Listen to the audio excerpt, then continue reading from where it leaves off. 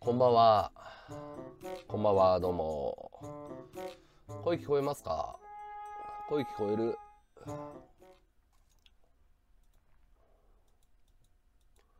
あ、あ、あ、あ、あ、です。あ、あ、あ、あ。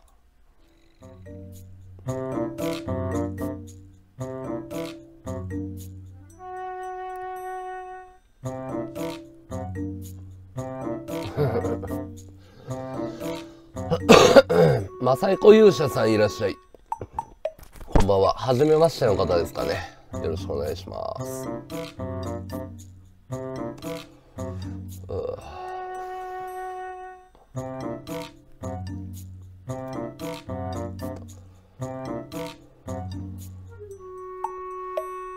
歴史の話、ああ、ありがとうございます。前回見てくれたんだ。嬉しかったです。あ嬉しいですね。ありがとう。名前変えた誰の？誰が名前変えたの何名前変えたって？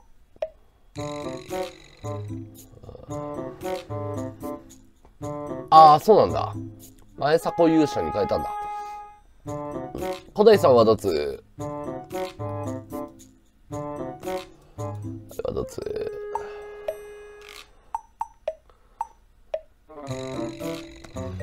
そうなんだ。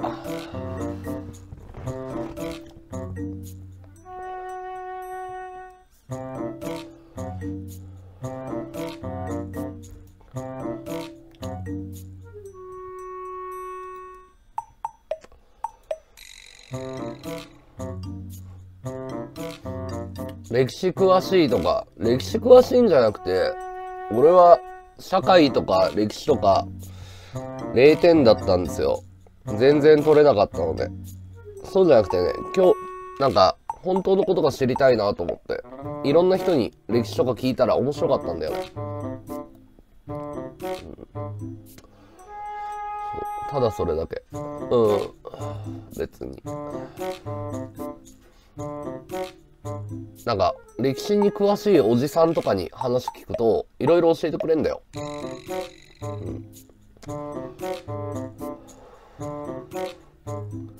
ワード2ジュピターいらっしゃい。楽しんでて。初見さんいらっしゃい。慎吾さん。慎吾さんよろしくお願いします。コメントありがとう。バーガープレゼントありがとう。初見さんなのにごめんね。ありがとうね。ありがとうございます。ツイッターツイキャス潰れるよ。ツイッターツイキャス潰れんの、うん、病んでるコダックケンケンさんいらっしゃる。ツイッターが潰れる？ツイキャス？うん。潰れないんじゃないかな。なんかあったの？儲かってると思うけど。潰れることはないんじゃないかな。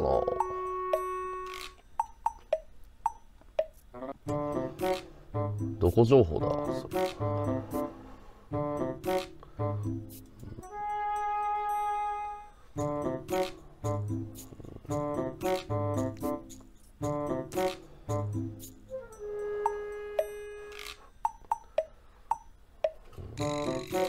ああ、ぜひぜひフォローよろしくお願いします。ぜひぜひ。フォローはもうほんとしていただけるのは嬉しいんで、ガンガンしてもらえると嬉しいですよ。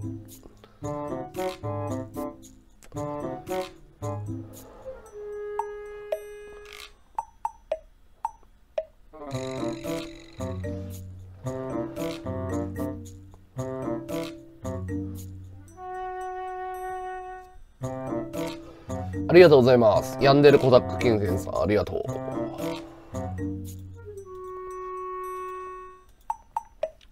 えー新しいフォロワーさん紹介します。えー、シンゴさんフォローありがとう。ヤンデルコダックケンケンさんフォローありがとう。MU ココさんフォローありがとう。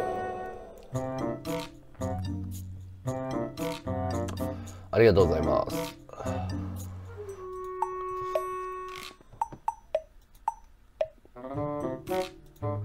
よろしくお願いします。よろしくです。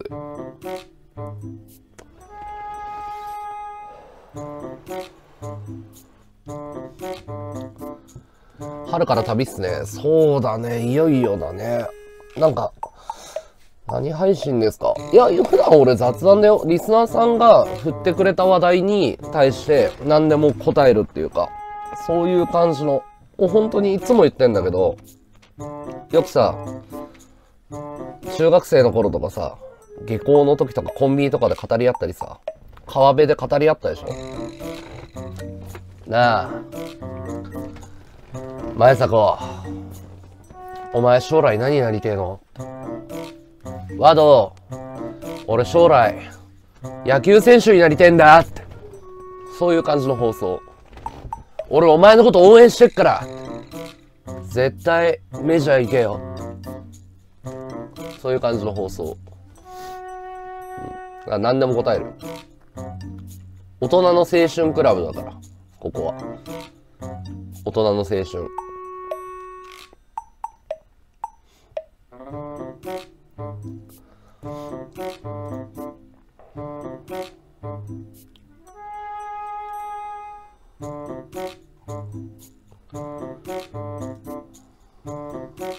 実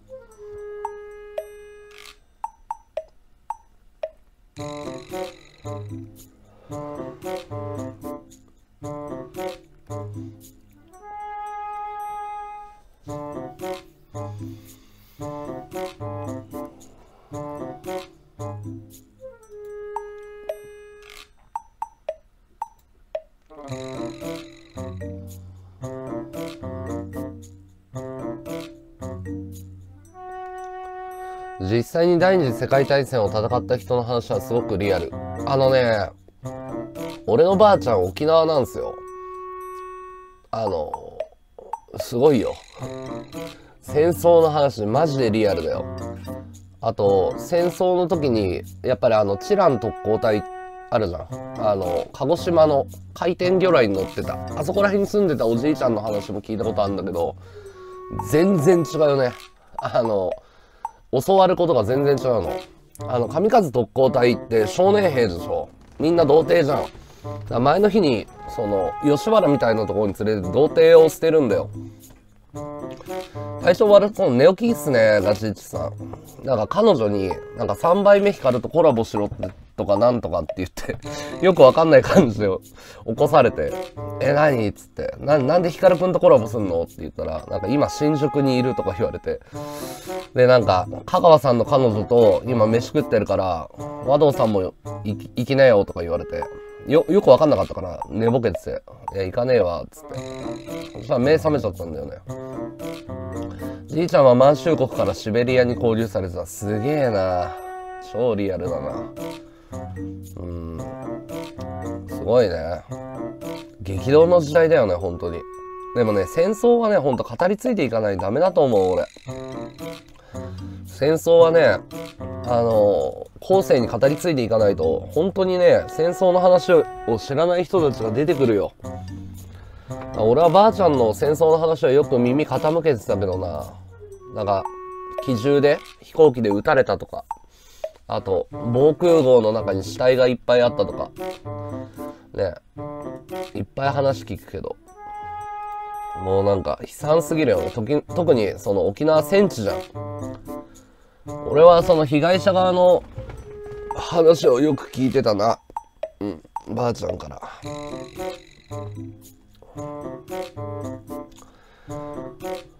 お、ヒロ君いらっしゃい。明けおめやことよろ。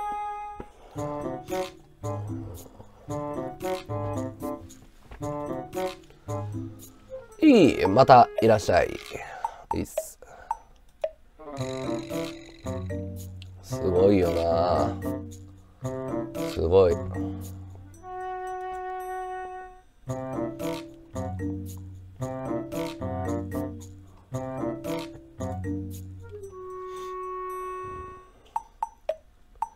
プニングバーは行ったことないけどな。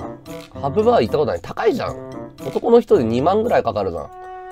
あの、チョコボール向井が捕まった店の上で、あの、ボーイやってたことがあって、そこはハプバーじゃなくてなんか、本、本番ありじゃなくて個室があるキャバクラってわかる？個室ありのキャバクラってあるじゃん。まあ違法店だよね。そこでなんか研修やってたことあるけど。10年以上前に。だから、そういうなんつうの。ドバイの富豪とかがヘリコプターで遊びに来てるとかそういう世界を見たよ。すげえな、狂ってるなと思ったけど。毎日100万とか200万とか平気で使っていくの、毎晩。ドバイからヘリコプターで来て。ほん、本当にこんな世界あるんだと思ったよね。アイラ花火100発以上もらってた。お前には無理だな。だってジャンルが違うじゃん。アイラと俺だと。全然違うよ。アイラだって今、ふわっちでナンバーワンでしょ。うん、ジャンルが違う、ジャンルが違う。うん、俺だけど、正月初日はあれだよ。花火80発じゃなかったっけ花火80発ぐらい上がってるよ。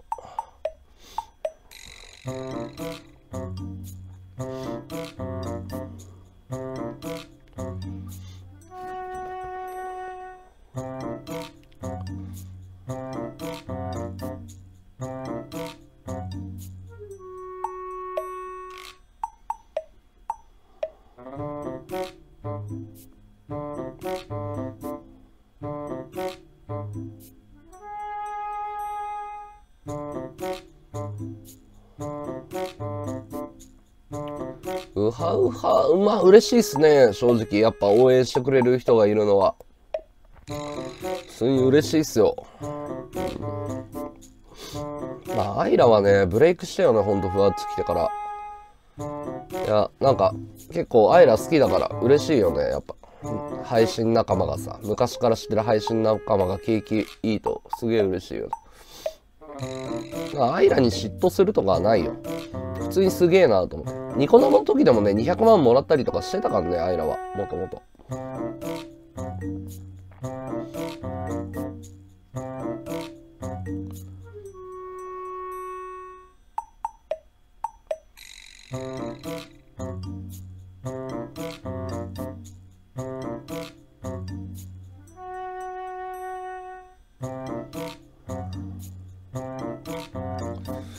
ちみんながふわっちくんじゃねえか。俺が言ってるのは3年以内にキャス超えるって言ってるね。今の動きを見ると。多分当たると思うんだけど、多分 3年以内に配信ナンバーワンサイトになる可能性があるっていう。かなりの高確率で。キャスとかが、その、ポイント還元とか始めたらわかんないけど、今のまんま、手こ入れしないでニコ生もキャスもそのまんまだったら、ふわっちは多分来るだろうね。間違いなく。実際今とんでもなく大手来てるからねふわっちに、うん、ふわっちの運営神対応なんですよ。いいっすよ。運営さんとよくあの DM とかメールでやり取りしてんだけどこんなにすごいサイトないね。マジ一人一人ちゃんとケアしてるし長文でテンプレメールが来たことが一回もない。テンプレじゃなくて、一文一文ちゃんと確認して対応します、対応しますって。でここはできます、ここはできませんって。ここの仕組みは変わりましたとか。だって、明けましておめでとうございますってメール打ってもちゃんと連絡来たもんね。すごいよ。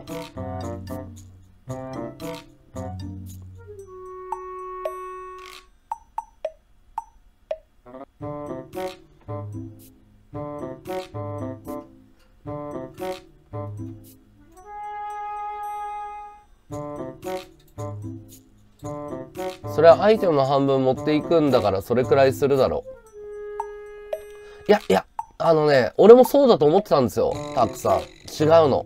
あのね、なんでふわっちやって、俺もただ、なんか半分搾取されるだけでしょってぶっちゃけ思ってたのよ。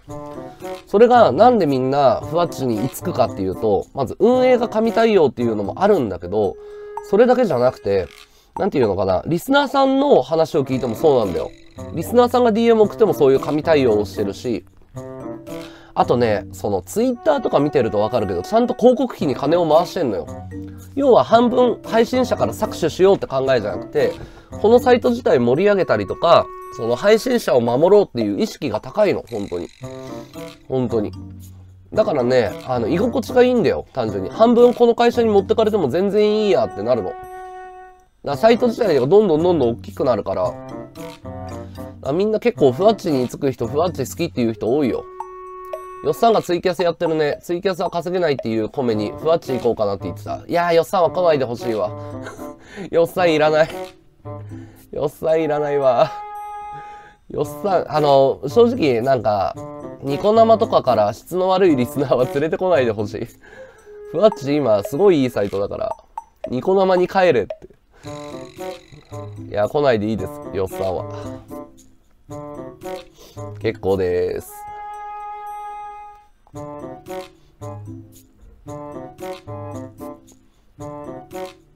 俺のツイキャスの運営さんの対応悪い。俺なんかしたっけ？えーとね、ツイキャスの対応は昔から悪いよ。テンプレメールしか送ってこないとか。うん。ツイキャスにまともに対応してもらったことなんか俺一回もないよ。あそこはクソですよ。ニコ生と、あの、キャスはもう本当に、リスナーとか配信者を、なんかもうほんとゴミみたいに扱ってるよ。金づるとしか思ってないから。なんかやら、俺らが無料でやらせてやってんだよみたいな上から目線なんだよね。それがすごい嫌だ。うん。あ、コッペ？うん、コッペもやってるけど、コッペは伸び悩んでるね、今。アクティブ1とか2とかしかないね。残念なことに。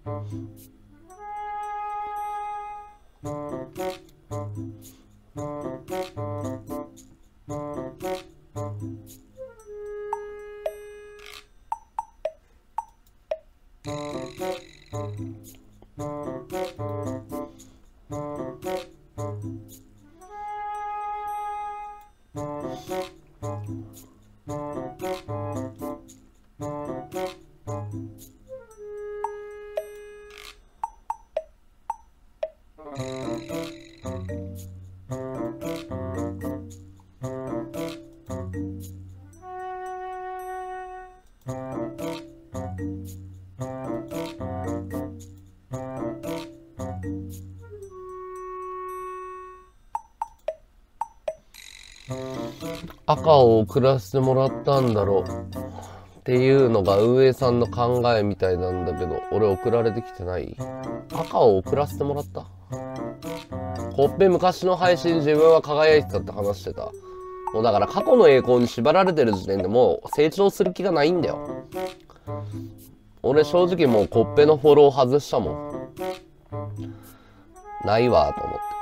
なんかもう過去に縛られてるやつとか未来作れるわけないじゃん。俺はだから、その、向上心がある人が好きだから。もうコッペは、コッペはダメだわ。ほっとこうぜ。ああ、そうなんだ。いや、稼げるなら稼げばいいじゃんっていう話だからさ。うん、ただリスナーのこと大事にできないやつが俺は稼げるとは思わないけどな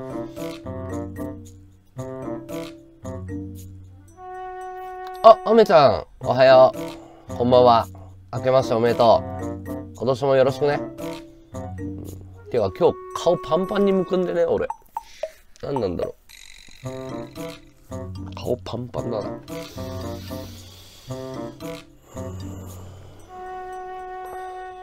叩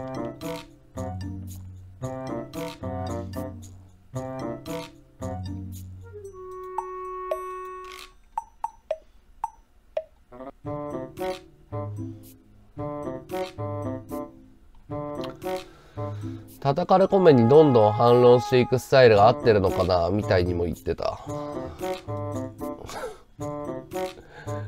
もうなんかもうかわいそうになってきたな。運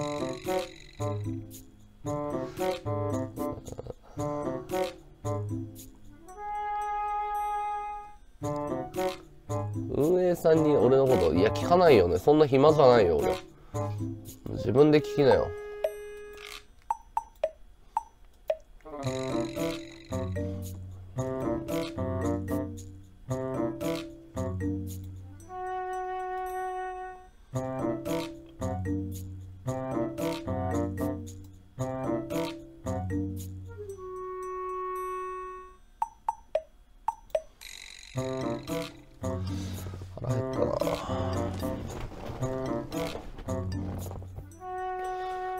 うぬぼれ方が半端じゃないよな。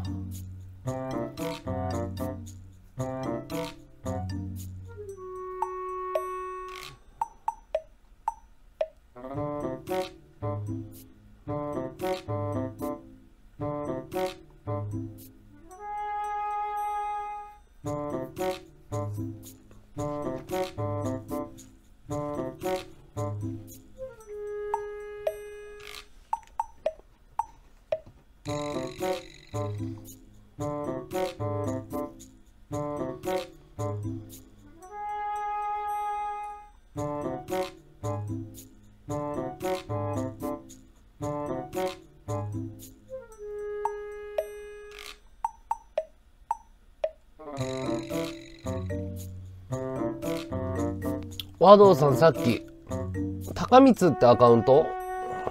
高光ってアカウントは俺のアカウント。フォローバック用のアカウント作った。高光だったらローマ字で高光だったら俺だね。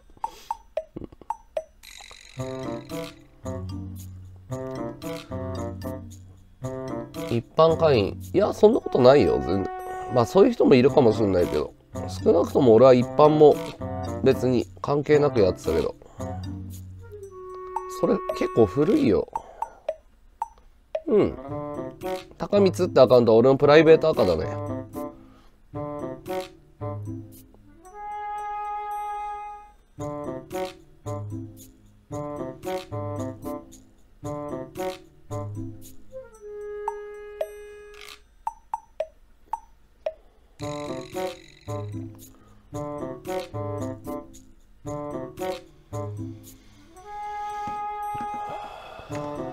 配信で作ったアイコンだったから和道本人のだってすぐ分かった。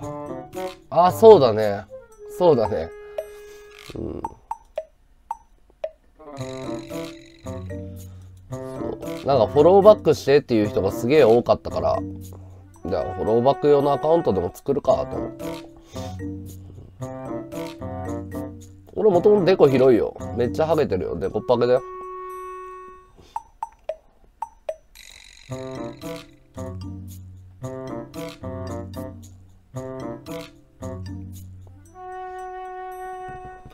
変な時間に起きちゃったな。参った。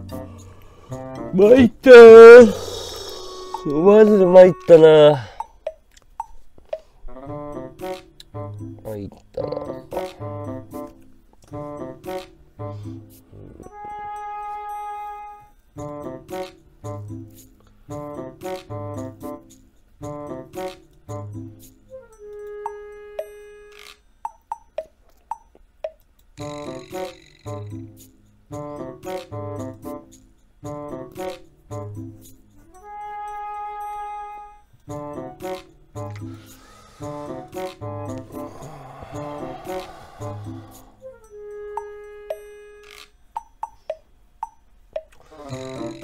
風呂入ろ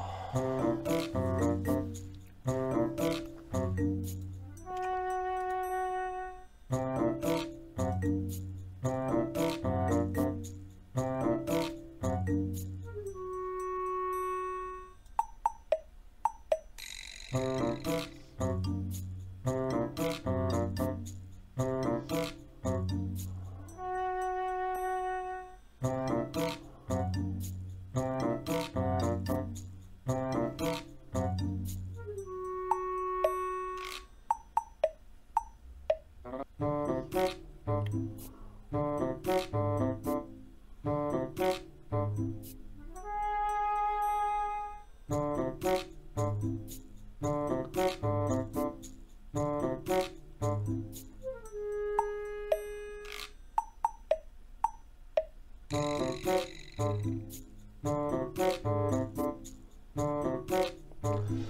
年末から出かけててさっき帰宅したんだけど疲れた。家って最高だね。あー家いいよね。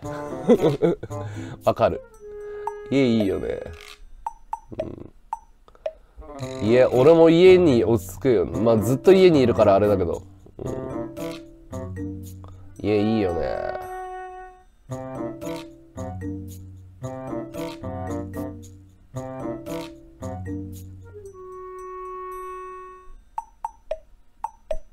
はい、ダバダバいらっしゃい。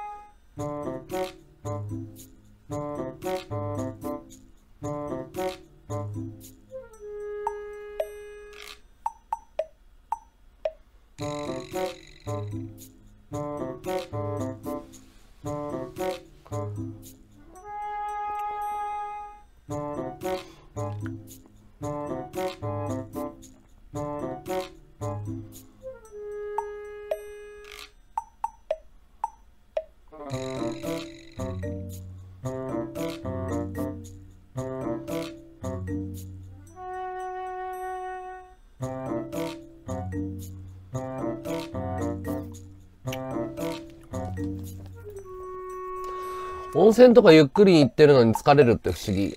気疲れすんだよ。結構長期間行くと。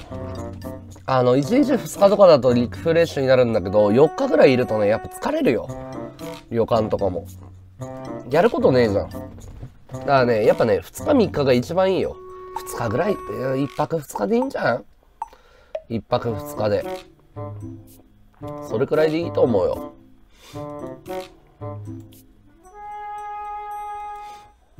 Thank you.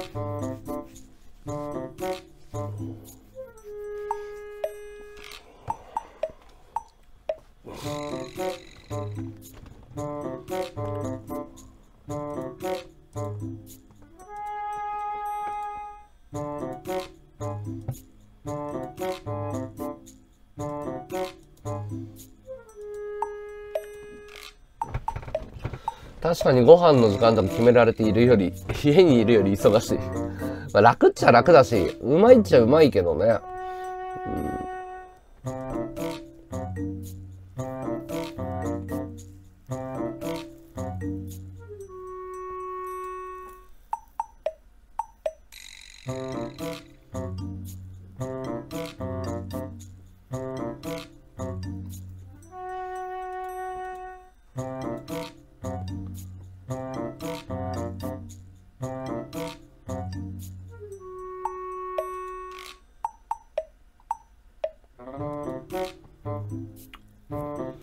おい、ガチャヒロさんいらっしゃい。明けましておめでとう。はい、こんばんは。カエルさんいらっしゃい。こ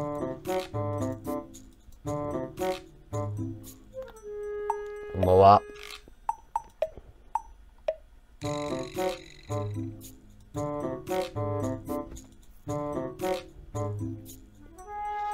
あ、稲川淳さん、ことよろです。どうも。来ましたおめでとう。